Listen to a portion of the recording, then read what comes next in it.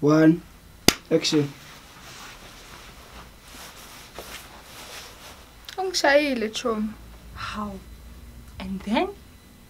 like angazi kwenze njani? Like uthe ngeke asangishaya like ngim- ngimchazela ukuthi ngiyahamba ngolanda umntana ecrash mase ngibuya okay beka right mara after some time mase ngiloke ngimphendula. Athi mina ngibuyaphi? Ngiyamtshela ukuthi ngibuya ulanda umntana ecrash angishaya. Ang- angisondeze ebondeni. Angikrinya mangithi ngiyascream ungivala umlomo chomi Futhi.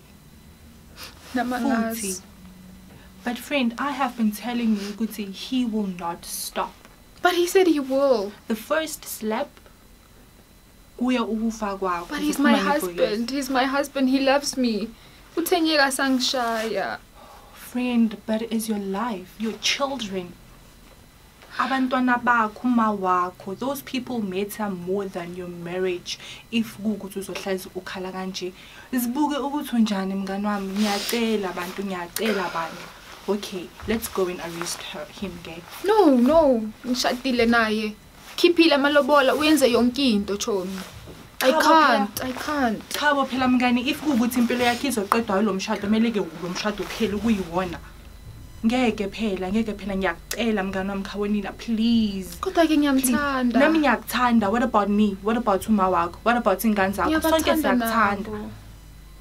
mngani ngiyakucela ngiyacela mngani asambi ngiyakucela mngani wami. Ngeke ngikwazi ukulahlekelwa wuwe mngani ngiyakucela bakithi. Mngani ngiyakucela uyavuma it's a wrap